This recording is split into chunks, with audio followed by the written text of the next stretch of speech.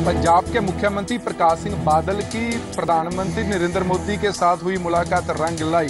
मुख्यमंत्री के दफ्तर के अनुसार आरबीआई ने आज 17,523 करोड़ रुपये जारी कर दिए हैं। पंजाब सरकार और किसानों के लिए राहत की खबर है।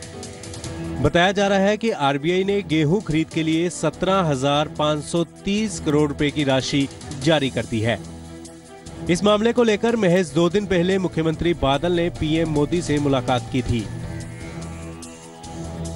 सीएम ने सूबे में गेहूँ खरीद के लिए बीस हज़ार करोड़ की राशि की मांग की थी। पंजाब के कृषि मंत्री सिकंदर सिंह मलूका ने उम्मीद जताई है कि राशि जारी होने के बाद तेज़ी से लिफ्टिंग का मामला आगे बढ़ेगा और किसानों को समय पर उनकी फ़सल का दाम मिलेगा। इससे पहले विपक्ष भी गेहूँ लिफ्टिंग में हो रही देरी का मुद्दा बना रहा था। आरबीआई की तरफ़ से राशि जारी होने से पंजाब सरकार ने राहत की सांस ली है। वहीं किसानों को भी उनकी मदद का दाम मिलने से उम्मीद जगी है। वहीं हाल ही के दिनों में उन खबरों पर भी विराम लग जाएगा, जिसमें कहा गया था कि पंजाब में बारह हज़ार करोड़ का अनाज घोटाला हुआ है। पंजाब सरकार पहले ही दावा कर चुकी कि राज्य के किसानों की फ़सल का एक एक दाना समय पर खरीदा जाएगा और साथ में भुगतान भी जल्द किया जाएगा। Jagtar Bullar, Zee Media, Chandigarh. Dera Bassi की अनाज मंडी में अनाज के उठान, रख रखाव और किसान के विश्राम की उचित व्यवस्था न होने की वजह से किसान काफ़ी परेशान हैं। गेहूँ की आवक मंडियों में दिन ब दिन बढ़ती जा रही है। सरकार भी दावे खूब कर रही है, लेकिन पंजाब के डेरा बस्ती में हालात कुछ और बयां कर रहे हैं। मंडी में शेड का कोई बंदोबस्त नहीं है। बारिश होने की सूरत में अनाज राम भरोसे है, जबकि अनाज बेचने पहुँचा किसान मूलभूत सुविधाओं के लिए तरस रहा है। ਨੂੰ ਬੜੀ ਭਾਰੀ ਦਿੱਕਤਾਂ ਆ ਰਹੀਆਂ ਇੱਥੇ ਧੁੱਪਾਂ ਮਾਰਿਆ ਕੋਈ ਸ਼ੈੱਡ ਨਹੀਂ ਹੈਗਾ ਕੋਈ ਸਿਸਟਮ ਨਹੀਂ ਇੱਥੇ ਕੋਈ ਦੁਕਾਨ ਨਹੀਂ ਚਾਹ ਪਾਣੀ ਵਾਸਤੇ ਵੀ ਬੰਦੇ ਭੁੱਖੇ ਇੱਥੇ ਬੈਠੇ ਆ ਸਿਰਫ ਇਲੈਕਸ਼ਨ ਟਾਈਮ ਦਾਅਵੇ ਹੁੰਦੇ ਆ ਜੀ ਉਸ ਤੋਂ ਬਾਅਦ ਕੋਈ ਨਹੀਂ ਪੁੱਛਦਾ ਹੁਣ ਤੁਸੀਂ ਦੇਖ ਹੀ ਰਹੇ ਹੋ ਉੱਥੇ ਸਾਰੇ ਧੁੱਪਾਂ 'ਚ ਬੈਠੇ ਆ ਕੋਈ ਪਾਣੀ ਦਾ ਪ੍ਰਬੰਧ ਨਹੀਂ ਹੈਗਾ ਕੋਈ ਛਾਂ ਦਾ ਪ੍ਰਬੰਧ नहीं है ਧੁੱਪਾਂ 'ਚ ਬੈਠੇ ਜ਼ਿਮੀਂਦਾਰ ਸਾਰੇ किसानों के माने तो पेमेंट के लिए भी कई महीनों इंतजार करना पड़ता है मंडी में अनाज के ढेर लगे हैं लेकिन उठान का कोई अता पता नहीं है ਇੱਥੇ ਕੁਝ ਨਹੀਂ ਹੈਗਾ ਬਾਰਿਸ਼ ਆ ਜੇ ਤੇ ਅਨਾਜ ਕਿੱਥੇ ਰੱਖਾਂਗੇ ਫਿਰ ਕੱਲ ਨੂੰ ਸਰਕਾਰ ਕਹਿ ਦਿੰਦੀ ਆ ਮੁਆਵਜ਼ਾ ਦੇਵਾਂਗੇ ਮੁਆਵਜ਼ਾ ਵੀ ਨਹੀਂ ਦਿੰਦੇ ਹੈਗੇ 6-6 ਮਹੀਨੇ ਮੰਡੀਆਂ 'ਚ ਰੋਲਣਾ ਪੈਂਦਾ ਹੈਗਾ ਸਾਨੂੰ ਤਾਂ ਆਹ ਦੇਖ ਲਓ ਜੀ ਸਾਰੀ ਇੱਥੇ ਪੈਕਿੰਗ ਹੋਈ ਵੀ ਆ ਪਹਿਲੀ ਗੱਲ ਜਿਹੜੀ ਪੈਕਿੰਗ ਹੋਈ ਵੀ ਆ ਉਹੀ ਨਹੀਂ ਉੱਠ ਰਹੀ ਤੇ ਅੱਗੇ ਨੂੰ ਭਰਾਈ ਤਾਂ ਕੀ ਹੋਊਗੀ सरकार को चाहिए कि मंडियों में शेड उठान और खान पान की उचित व्यवस्था करे ताकि लगातार बढ़ते पारे के बीच किसान को खुले आसमान के नीचे तपना न पड़े किसानों ने गेहूँ की खरीद की पेमेंट होने में भी देरी होने के आरोप लगाए हैं। कुलवीर दीवान, जी मीडिया, डेराबसी। अकाली दल अमृतसर प्रमुख ने कहा है कि कोहेन और हीरे पर भारत का हक नहीं है। इसे छह महीने लाहौर और छह महीने दरबार साहिब में रखा जाना चाहिए। कोहिनूर हीरा फिलहाल पहुंच से बाहर है लेकिन बेशकीमती हीरे पर हक को लेकर बयानबाजी जारी है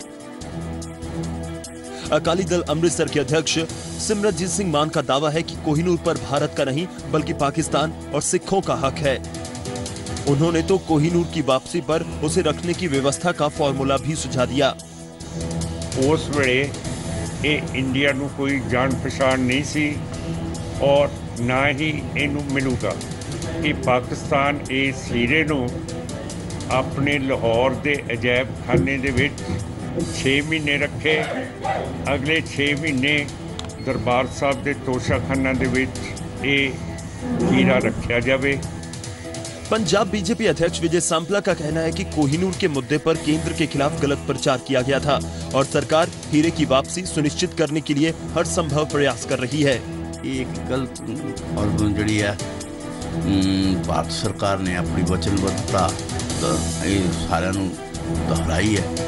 असी कोहिनूर हीरा लिया क्योंकि एक कम टेबल पर बैठ के होने वाला, और वो हर संभव प्रयास असं करा आपको बता दें कि सुप्रीम कोर्ट में सुनवाई के दौरान केंद्र ने कहा था कि कोहिनूर गिफ्ट में दिया गया था और गिफ्ट को वापस नहीं मांगा जा सकता।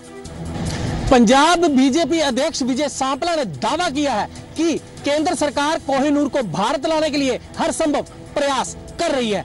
दिल्ली से पंकज कपाही के साथ लुधियाना से नवीन शर्मा, जी मीडिया। आम आदमी पार्टी के पंजाब डाले के कमान कमर संधू और आशीष खेतान के हाथ में होगी, जिसकी शुरुआत 23 अप्रैल को मोहाली की जाएगी। दिल्ली डायलॉग की तर्ज पर आम आदमी पार्टी अलग अलग मुद्दों पर पंजाब डायलॉग शुरू करने जा रही है। इसके लिए पंजाब डायलॉग कमेटी का गठन कर दिया गया है, जिसकी जिम्मेवारी कंवर संधू को दी गई है। कंवर संधू के साथ दिल्ली डायलॉग कमेटी के कई सदस्यों और अलग अलग क्षेत्रों से जुड़े लोगों को शामिल किया गया है। पंजाब डायलॉग की शुरुआत मोहाली से की जाएगी और इसके लिए 10 विषयों को चुना गया है, जिस पर लोगों की राय मांगी जाएगी। हेड करेंगे पंजाब डायलॉग कमेटी को श्री कंवर संधू जी। कई अखबारों के एडिटर रह चुके पंजाब की समस्याओं को जिन्होंने बहुत करीब से समझा भी है अपनी ਲੇਖਣੀ ਕੇ ਜਰੀਏ ਮੁਹਾਲੀ ਤੋਂ ਅਸੀਂ ਸ਼ੁਰੂ ਕਰ ਰਹੇ ਹਾਂ 23 ਅਪ੍ਰੈਲ ਨੂੰ ਔਰ ਜਿਹੜਾ ਪੰਜਾਬ ਡਾਇਲੌਗ ਆ ਅਸੀਂ ਇਹ ਕਰੀਬ 10 ਮੁੱਖ ਵਰਗ ਦੇ ਨਾਲ ਅਸੀਂ ਸ਼ੁਰੂ ਕਰਨ ਲੱਗੇ ਹਾਂ ਪੰਜਾਬ ਦੇ 10 ਮੁੱਖ ਵਰਗ ਔਰ ਕਿਉਂਕਿ ਨੌਜਵਾਨ ਪੀੜ੍ਹੀ ਸਾਡੀ ਜਿਹੜੀ ਹੈ ਯੂਥ ਜਿਹੜਾ ਵਾ ਭਵਿੱਖ ਹੈ ਆਪਣਾ ਮੁਲਕ ਦਾ ਭਵਿੱਖ ਹੈ ਰਾਜ ਦਾ ਭਵਿੱਖ ਹੈ ਅਸੀਂ ਉਹਨਾਂ ਤੋਂ ਸ਼ੁਰੂ ਕਰਾਂਗੇ आम आदमी पार्टी के मुताबिक पंजाब डायलॉग का मकसद पंजाब के लोगों से अलग अलग मसलों पर उनकी राय शुमारी करना और मुद्दों को कैसे हल किया जाए, इसके बारे में राय लेना है। आम आदमी पार्टी ने पंजाब डायलॉग में युवाओं को टॉप पर रखा है और इसके बाद किसानों पर फोकस किया जाएगा। चंडीगढ़ से पुनीत परिंजा के साथ नेहा शर्मा, दी मीडिया। आम आदमी पार्टी ने कहा कि सतलुज जमुना लिंक नहर का मामला पंजाब, हरियाणा और सेंट्रल सरकार को मिल बैठकर सुलझा लेना चाहिए। आम आदमी पार्टी के पंजाब प्रभारी संजय सिंह ने एस विवाद का ठीकरा, अकाली दल बीजेपी और कांग्रेस के सर फोड़ा है। उन्होंने कहा कि 9 साल के कार्यकाल में अकाली सरकार चाहती तो हल हो सकता था। उन्होंने इस मसले पर केंद्र, पंजाब और हरियाणा सरकार को बैठकर समाधान ढूँढने की नसीहत दी है। एसवाईएल की पैदावार कौन है? किसने पैदा किया इस एस को? कांग्रेस ने नींव रखी, अकाली दल ने जमीनें कब्जा की, नहर बनाई।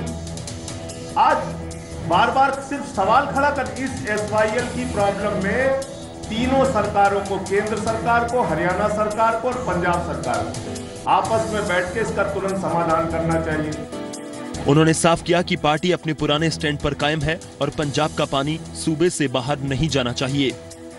आम आदमी पार्टी का स्टैंड आप एक हज़ार बार पूछेंगे तो मैं वही बात दोहराऊँगा कि आम आदमी पार्टी पंजाब के लोगों के साथ है और हम ये मानते हैं कि पंजाब का पानी पंजाब में रहना चाहिए। हालाँकि सुप्रीम कोर्ट में दिल्ली सरकार के हलफनामे को लेकर विरोधी दल आम आदमी पार्टी से जवाब मांग रहे हैं जिसके चलते आम आदमी पार्टी की खूब किरकिरी हुई है।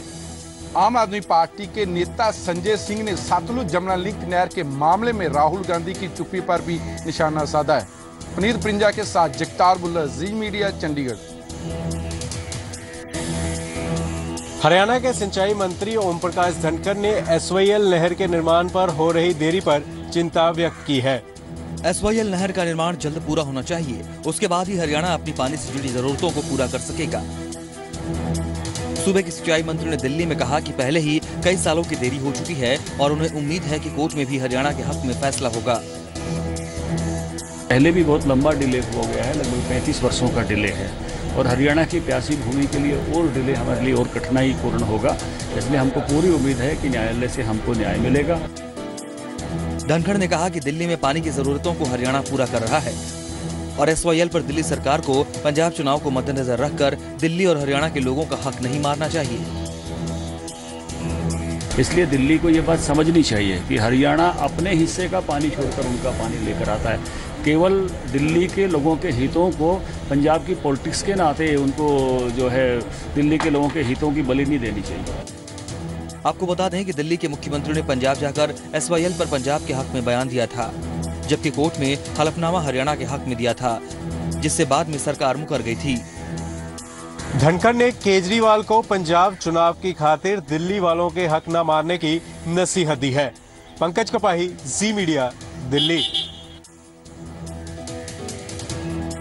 आम आदमी पार्टी के पंजाब प्रभारी संजय सिंह ने अकाली बीजेपी को ड्रामा कंपनी खोलने की सलाह दी है जिस पर बीजेपी अध्यक्ष ने पलटवार किया है।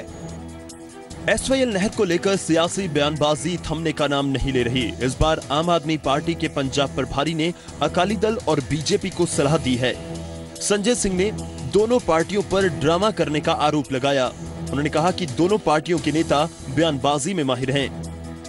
एस का ड्रामा तो अब आप लोग भी समझ रहे हैं। वो अब इन लोगों को बयानबाजी करने के बजाय मेरी सलाह है अकाली दल को और बीजेपी वालों को कि ये ड्रामा कंपनी खोल लें।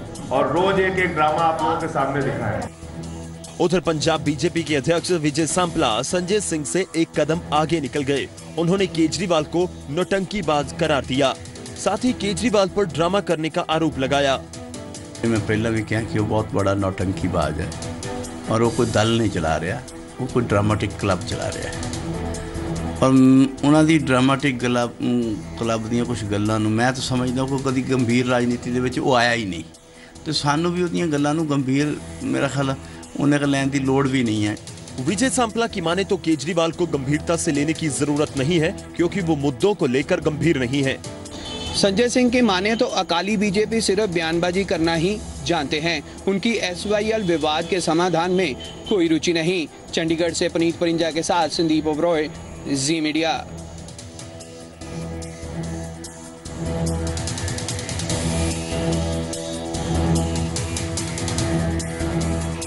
गुरदासपुर में कृपाल सिंह के पैतृक गाँव में उनका अंतिम संस्कार किया गया। कृपाल के परिवार और गाँव के लोगों ने नम आँखों से आखिरी विदाई दी।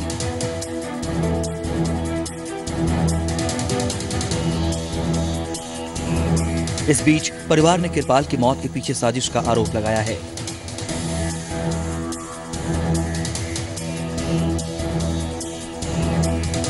सरबजीत की बहन दलवीर कौर ने भी मौत की जाँच के लिए कमेटी के गठन की मांग की है।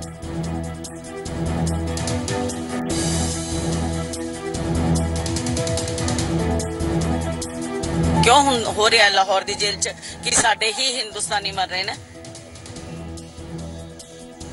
ਚਮੇਲ ਸਿੰਘ ਸਰਬਜੀਤ ਸਿੰਘ ਔਰ ਕਿਰਪਾਲ ਸਿੰਘ ਇਹਨਾਂ ਤਿੰਨਾਂ ਦੀ ਹੱਤਿਆ ਦੇ ਪਿੱਛੇ ਜੋ ਸਾਜ਼ਿਸ਼ ਹੈ ਉਹ ਉਸ ਦੇ ਇੱਕ ਨਿਸ਼ਪਕਸ਼ ਕਮੇਟੀ ਜਿਹੜੀ ਹੈ ਉਹ ਬਣਾਈ ਜਾਏ ਇਸ ਦੀ ਜਾਂਚ ਹੋਵੇ ਉਹ ਜਿਸ ਤਰੀਆ दलवीर की माने तो अभी भी पाक की जेलों में भारत के सैकड़ों कैदी बंद हैं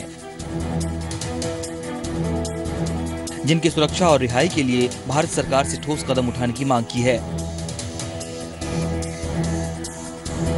2011 ਚ ਮੈਂ ਪਾਕਿਸਤਾਨ ਦੀ ਹਾਈ ਕੋਰਟ ਦੇ ਜ਼ਰੀਏ 74 ਕੈਦੀਆਂ ਦੀ ਸੂਚੀ ਪ੍ਰਾਪਤ ਕੀਤੀ ਸੀ ਜੋ ਮੈਂ ਸੁਸ਼ਮਾ ਜੀ ਨੂੰ ਦੇ ਕੇ ਆਈ ਹਾਂ 17 ਕੈਦੀ ਹੋਰ ਜਿਨ੍ਹਾਂ ਦੀ ਲਿਸਟ ਮੈਂ ਉਹਨਾਂ ਨੂੰ ਦਿੱਤੀ ਆ ਜੋ ਮੈਨੂੰ ਪਤਾ ਲੱਗਾ ਜੋ ਸਰਜੀਤ ਦੱਸਦਾ ਰਿਹਾ 65 ਔਰ 71 ਦੇ ਜਿਹੜੇ ਕੈਦੀ ਨੇ ਉਹ ਵੀ ਅੱਜ ਉੱਥੇ ਹੈਗੇ ਜਿਹੜੇ ਕਿ ਇਹਨਾਂ ਨੇ ਕਿਲੇ 'ਚ ਬੰਦ ਕੀਤੇ ਹੋਏ ਨੇ ਉਹਨਾਂ ਦੇ ਬਿਹਾਫ ਤੇ ਸਾਡੀ ਸਰਕਾਰ ਨੂੰ ਆਪਣਾ ਪੱਖ ਮਜ਼ਬੂਤੀ ਨਾਲ ਰੱਖ ਕੇ ਉਹਨਾਂ ਦੀ ਰਿਹਾਈ ਲਈ ਠੋਸ ਕਦਮ ਉਠਾਏ ਜਾਣ 11 अप्रैल को पाकिस्तान की कोट लखपत जेल में किरपाल की संदिग्ध मौत हुई थी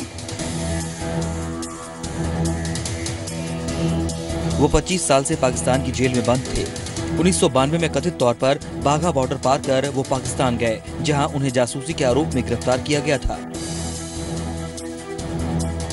इस मौके पर दलवीर कौर ने कहा कि पाकिस्तान की जेलों में बंद भारतीय कैदियों की रिहाई के लिए उचित कदम उठाने की ज़रूरत है। गुरदासपुर से राजन गोसाई, जी मीडिया।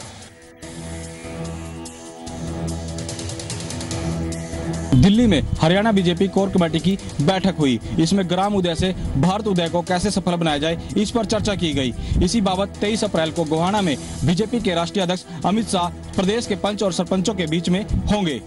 दिल्ली में हरियाणा बीजेपी कोर कमेटी की बैठक में मुख्यमंत्री मनोहर लाल खट्टर, कैबिनेट मंत्री ओम प्रकाश धनखड़, रामविलास शर्मा, केंद्रीय मंत्री कृष्णपाल गुर्जर और सांसद रतन लाल कटारिया शामिल हुए।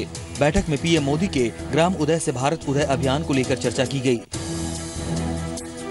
तेईस अप्रैल को गोहाना में पार्टी ने प्रदेश भर के पंच सरपंचों का सम्मेलन बुलाया है जिसकी अध्यक्षता बीजेपी के राष्ट्रीय अध्यक्ष अमित शाह करेंगे।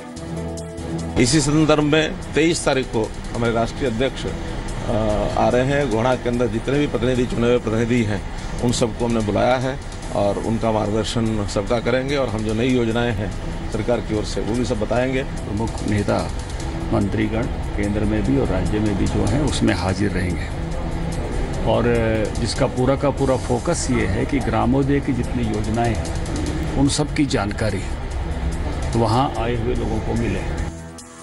गेहूँ खरीद और उठान संबंधी मुद्दे पर भी चर्चा की गई।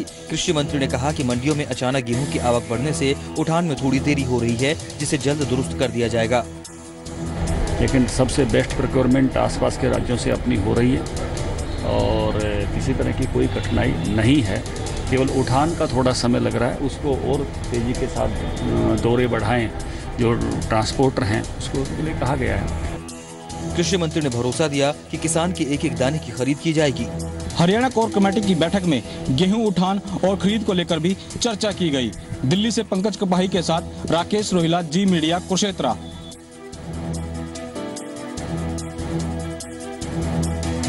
हरियाणा के स्थानीय निकाय चुनाव के लिए कमर कसने के बाद राज्य चुनाव आयोग ने प्रदेश सरकार को सहमति के लिए पत्र लिख दिया है। नई शर्तों पर पंचायत चुनाव कराने का कारनामा कर चुका हरियाणा अब स्थानीय निकाय चुनाव की तरफ़ बढ़ रहा है। राज्य चुनाव आयोग ने अपनी तैयारी पूरी कर ली है जिसके बाद इंतज़ार सरकार की हरी झंडी का है। इस बाबत आयोग ने हरियाणा सरकार को पत्र भी लिख दिया है। इलेक्शन के बारे में चुनाव आयोग की पूरी तरह से तैयारियाँ हैं। इलेक्शन मटेरियल सभी जिलों के अंदर सभी संबंधित कमेटी और काउंसिल्स में भेज दिया गया है। सरकार को इसके बारे में सहमति प्रकट करने के लिए कंसेंट देने के लिए पत्र जा चुका है। आपको बता दें कि स्थानीय निकाय चुनाव में भी नए नियम लागू रहेंगे, जिसमें शैक्षणिक योग्यता की शर्त सबसे अहम है। सूबे में चवालीस जगहों पर स्थानीय निकाय चुनाव होने हैं, जिसके मई के महीने में होने की संभावना है। सोलह नगर परिषद 28 नगर समिति के साथ नगर निगम पानीपत, नगर काउंसिल रेवाड़ी और नगर समिति कलानौर के एक एक वार्ड पर उपचुनाव भी होना है। नई शर्तों के साथ स्थानीय निकाय चुनाव मई महीने में होने की संभावना है। चंडीगढ़ से कुलवीर दीवान के साथ Lalit Sharma, Zee Media. Samjhauta blast case में एनआईए ने कर्नल पुरोहित को क्लीन चिट दे दी है। एनआईए चीफ ने कहा है कि कर्नल पुरोहित के खिलाफ इस केस में कोई भी सबूत नहीं है, लेकिन मालेगांव धमाके में जाँच जारी है। एनआईए डीजी शरद कुमार के मुताबिक समझौता ब्लास्ट केस में लेफ्टिनेंट कर्नल पुरोहित के खिलाफ कोई सबूत नहीं है। और वो कभी भी आरोपी नहीं था। शरद कुमार ने हैरानी जताई है कि समझौता विस्फोट मामले में कर्नल प्रसाद पुरोहित का नाम क्यों जोड़ा जा रहा है? 18 फरवरी 2007 को हरियाणा के पानीपत के नज़दीक समझौता एक्सप्रेस में हुए ब्लास्ट केस में लेफ्टिनेंट कर्नल पुरोहित के खिलाफ कोई सबूत ही नहीं है। न ही पुरोहित को कभी आरोपी बनाया गया था। बावजूद इसके, उनका नाम जानबूझकर घसीटा गया। एनआईए समझौता ब्लास्ट केस में आठ लोगों पर चार्जशीट दायर की गई है, जिसमें कर्नल पुरोहित का नाम नहीं है। केंद्र सरकार का कहना है कि इस मामले में अब सच सबके सामने आने लगा है। बहुत क्लियर कट केस था आतंकवाद और आतंकवाद थी नहीं वो पाकिस्तान प्रायोजित आतंकवाद था। हालाँकि कांग्रेस ने आरोप लगाया है कि एनआईए अब बीजेपी की ज़ुबान बोल रही है। कर्नल पुरोहित के बारे में एनआईए के द्वारा जो कहा गया मैं समझता हूँ कि पूरी तरह से गलत है भ्रामक है। सरकार के दबाव में ये सब पूरी बातें थी समझौता एक्सप्रेस में फरवरी 2007 को हरियाणा के पानीपत के करीब धमाके हुए थे जिसमें अड़सठ लोगों की मौत हुई थी। एचपीसीए के मुद्दे पर मुख्यमंत्री के आरोपों का पूर्व सीएम प्रेम कुमार धूमल ने जवाब देते हुए पलटवार किया है। एचपीसीए को लेकर बीते दिनों मुख्यमंत्री वीरभद्र सिंह ने एक बयान दिया था, जिसमें उन्होंने धूमल परिवार को निशाने पर लिया था। उसी आरोप पर हिमाचल बीजेपी विधायक दल के नेता प्रेम कुमार धूमल ने पलटवार किया है। धूमल ने कहा कि एचपीसीए की बदौलत विश्व भर में सूबे का नाम हुआ है और वो राज्य की संपत्ति है। उन्होंने आगे कहा कि मुख्यमंत्री जब दुखी होते हैं तो इस तरह के बेतुके बयान दे देते हैं। आदमी दुख में होता है, बखलाहट में होता है तो वो इस तरह की बयानबाजी करता है। एच एक इलेक्टेड बॉडी है। उनकी प्रॉपर्टी जो भी है, वो गवर्नमेंट की प्रॉपर्टी लीज पर है। जो ज़मीन है वो गवर्नमेंट की है उसके ऊपर जो उन्होंने खड़ा किया इंफ्रास्ट्रक्चर उसके कारण हिमाचल प्रदेश को केवल हिमाचल में नहीं देश में नहीं सारे विश्व में ख्याति और सम्मान मिला है और जिस प्रकार से विरोध कर रहे हैं इनकी थू थू हो रही है। आपको बता दें कि मुख्यमंत्री ने ऊना दौरे के दौरान कहा था कि वो खेल विरोधी नहीं है बल्कि उनके विरोधी हैं जो निजी संपत्ति समझकर उस पर कुंडली मारकर बैठे हैं। एचपीसीए के मसले को लेकर मुख्यमंत्री धूमल परिवार को निशाना बनाते रहे हैं। हमीरपुर से अरविंदर के साथ यशराज, जी मीडिया, मंडी, हिमाचल प्रदेश। हिमाचल प्रदेश की ऑनलाइन विधानसभा का दौरा करने का सिलसिला जारी है। इस बार त्रिपुरा विधानसभा के डिप्टी स्पीकर के नेतृत्व में एक दल हिमाचल विधानसभा की ई विधान प्रणाली का जायजा लेने के लिए शिमला पहुँचा है। हिमाचल विधानसभा का ई विधान सिस्टम देश भर में आकर्षण और प्रेरणा का केंद्र बनता जा रहा है। इस बार त्रिपुरा के डिप्टी स्पीकर हिमाचल विधानसभा के दौरे पर पहुँचे। जहाँ उन्होंने हिमाचल विधानसभा के स्पीकर ब्रिज बिहारी बुटेल से मुलाकात की और ई विधान सिस्टम को जानने की कोशिश की। उन्होंने इस पहल के लिए हिमाचल को बधाई दी और त्रिपुरा में भी इसे लागू करने की बात कही। बधाई देता हूँ स्पीकर को। ये they are the first state in the country e-vidan and it is discussed in the presiding officer meeting after that we also from the Tripura Vidhan Sabha we are thinking to start it Himachal Vidhan Sabha के speaker की माने तो देश भर में ई विधान system लागू होने से पेड़ों की बचत होगी और पैसा भी बचेगा हम भी चाहते हैं कि हमारी जो कमियाँ हैं उसको पूरा करने में इनसे भी पूरा गाइडेंस लें तो आज बड़ी खुशी है यहाँ है पूरे भारतवर्ष में अगर ये ई विधान का प्रोसेस हो जाए पेपरलेस तो मैं समझता हूँ कि अरबों रुपए की जो है वो बचत होगी भारतवर्ष को। हिमाचल विधानसभा की कार्यवाही ऑनलाइन होने से हर साल 15 करोड़ की बचत हो रही है जबकि 6000 पेड़ सालाना कटने से बच रहे हैं। विधानसभा में सभी सवाल जवाब ऑनलाइन ही होते हैं। त्रिपुरा के बाद जम्मू कश्मीर विधानसभा के स्पीकर हिमाचल विधानसभा आकर यहाँ की पेपरलेस विधानसभा प्रणाली के बारे में जानने की कोशिश करेंगे। Mohit Prem Sharma Zee Media Shimla. Himachal के राज्यपाल आचार्य देवव्रत ने गेटी थिएटर में आयोजित एक समारोह में शिरकत की। यहाँ राज्यपाल ने विद्यार्थियों को ई लर्निंग डिवाइसेस बांटे हैं। हिमाचल की राजधानी शिमला के ऐतिहासिक गेटी थिएटर में ई लर्निंग पर खास कार्यक्रम का आयोजन किया गया। जिसमें सूबे के राज्यपाल आचार्य देवव्रत ने शिरकत की। इस मौके पर राज्यपाल ने ई लर्निंग की ज़रूरत पर ज़ोर दिया और इसे छात्रों के लिए फ़ायदेमंद बताया। राज्यपाल ने छात्रों को ई लर्निंग डिवाइस बांटकर उनका उत्साह बढ़ाने की कोशिश भी की। साथ ही कहा कि आधुनिक युग में ई लर्निंग से छात्र अपने भविष्य को ज़्यादा सरलता से समझ सकते हैं। यदि साइंस टेक्नोलॉजी को विकसित करने के लिए ई लर्निंग को के माध्यम से आगे बढ़ते हैं तो ये सुखद है।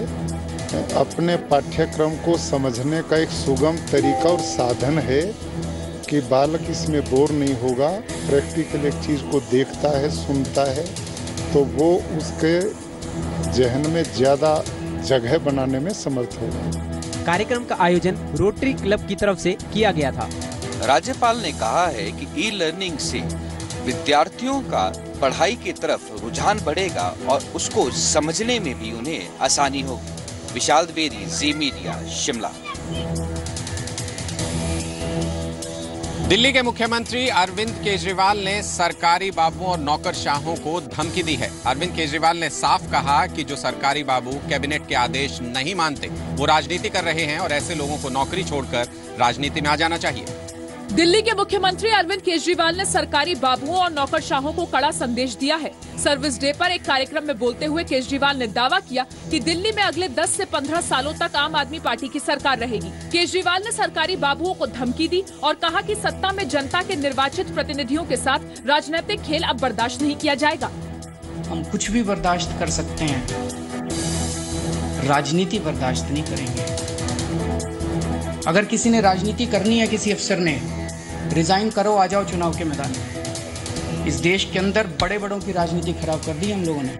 वही विपक्ष ने केजरीवाल की भाषा और अंदाज पर कड़ा ऐतराज जताया। अरविंद केजरीवाल का अहंकार बोल रहा है उनका घमंड बोल रहा है उनका ओवर कॉन्फिडेंस बोल रहा है। दरअसल अफसरों की ट्रांसफ़र पोस्टिंग को लेकर केंद्र की एनडीए सरकार और केजरीवाल सरकार के बीच अक्सर तनातनी देखने को मिलती रहती है। ऐसे में केजरीवाल सरकार और आईएएस लॉबी के बीच पहले भी कई बार टकराव देखने को मिल चुका है। मध्य प्रदेश के उज्जैन में आसाराम के आश्रम पर निर्मोही अखाड़े के संतों ने कब्जा जमा लिया। इन संतों ने वहाँ लगे आसाराम के पोस्टर फाड़े और तोड़फोड़ भी की। ये तस्वीरें उज्जैन की हैं, जहाँ जेल में बंद आसाराम के आश्रम में तोड़फोड़ की जा रही है। पोस्टर, बैनर फाड़े जा रहे हैं और तोड़फोड़ कर रहे लोग निर्मोही अखाड़े के हैं। दरअसल सिंहस महापर्व के दौरान प्रशासन ने ये आश्रम निर्मोही अखाड़े को दे दिया था। लेकिन महापर्व से एक दिन पहले भी जब आसाराम के समर्थकों ने आश्रम खाली नहीं किया तो निर्मोही अखाड़े के संत भड़क गए और उन्होंने आश्रम पर जबरन कब्जा कर लिया। बोर्ड कटआउट वगैरह हटा दिए। आसाराम के कर्त के कारण हम उसको अशुद्ध मानते हैं। हो सकता है यहाँ भी ऐसा बलात्कार किया हो। आसाराम के जेल जाने के बाद से इस आश्रम में सन्नाटा पसरा रहता है और लोग यहाँ कभी कभार ही आते हैं।